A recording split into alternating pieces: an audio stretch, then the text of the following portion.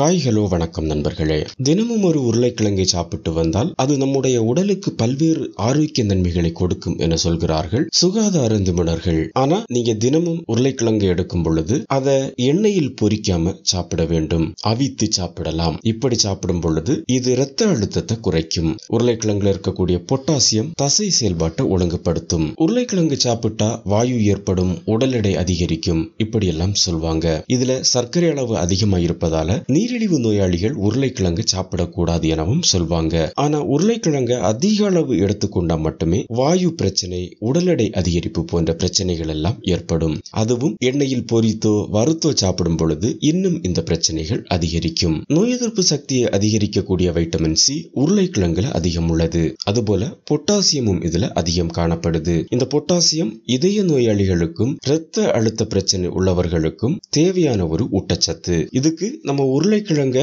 வறுத்து சாப்பிடாம வேக வைத்து சாப்பிட்டா இதோட முழு நன்மைகளும் நம்மால பெற முடியும் என சொல்றாங்க ஊட்டச்சத்து வல்லுநர்கள். வயிற்றுப்புண் உள்ளிட்ட வயிற்று கோளாறுகள் குடல் பிரச்சனை இறைப்பை கோளாறுகள் போன்றவற்றை போக்குவதில் முக்கிய பங்கு வகிப்பது உருளைக்கிழங்கு. நம்ம மனித இதயம் சீரா செயல்படுவதற்கு பொட்டாசியம் சத்து மிகவும் அவசியமான ஒன்று. இது பல்வேறு ஆய்வுகளையும் உறுதி செய்யப்பட்டிருக்கு. அந்த வகையில உருளைக்கிழங்குல பொட்டாசியம் சத்து அதிகம் நிறைந்து காணப்படுது. இது இரத்த அழுத்தத்தை சீரான நிலையில் வைத்து இதயத்திற்கு சரியான அளவுல ரத்தம் சென்று வர உதவுது. இதயம் ஆரோக்கியமா இயங்கவும் இதய நோய்கள் வராம தடுக்கவும் பொட்டாசியம் அதிகம் இருக்கக்கூடிய உருளைக்கிழங்க தொடர்ந்து சாப்பிடுவது அதிக நன்மையை கொடுக்கும். உருளைக்கிழங்குல பொட்டாசியம் பாஸ்பரஸ் மெக்னீசியம் துத்தநாகம் வைட்டமின் சி பி காம்ப்ளெக்ஸ் இதெல்லாம் காணப்படுது. இது சருமத்திற்கு மிக நல்லது. அதனால உருளைக்கிழங்க தொடர்ந்து நீங்க அதிகம் எடுத்துக்கொள்ளும் பொழுது இது சருமத்தை பளபளப்பாக்க வைக்குது. உருளைக்கிழங்குல நார்ச்சத்து அதிகம் இருப்பதால ரத்தத்தில் இருக்கக்கூடிய அதிக அதிகப்படியான கொழுப்பு அளவை குறைக்குது. இதுல இருக்கக்கூடிய vitamin C B six potassium இதெல்லாமே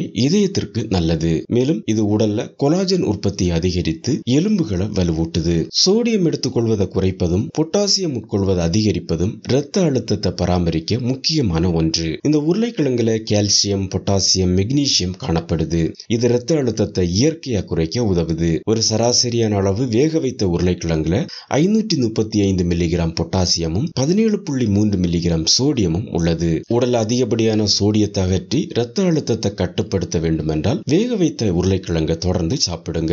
அதுக்காக உருளைக்கிழங்கு சிப்ஸ் பொரியல் பிரெஞ்ச் ஃப்ரை இப்படி சமைத்து சாப்பிடுவதை தவிர்க்க வேண்டும். இது உங்க ஆரோக்கியத்திற்கு கெடுதலையே ஏற்படுத்தும்.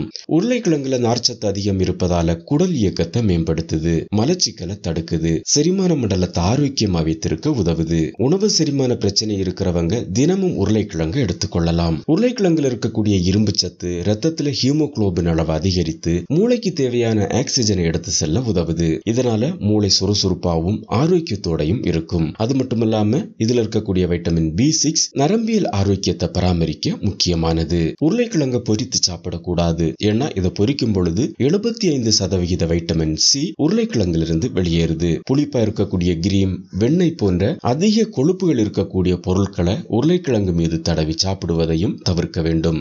சமைப்பதற்கு முன்னால உருளைக்கிழங்கோட தோலை உரிக்க கூடாது. ஏன்னா பெரும்பாலான ஊட்டச்சத்துக்கள் தோலோட சேர்ந்துதான் காணப்படுது. அதனால் இதை நல்லா கழுவி சமைத்து பயன்படுத்தலாம். அதனால பல ஆரோக்கிய நன்மைகள் இருக்கக்கூடிய உருளைக்கிழங்க தொடர்ந்து சாப்பிடுங்க. அதோட எல்லா ஆரோக்கிய நன்மைகளையும் பெறுங்க.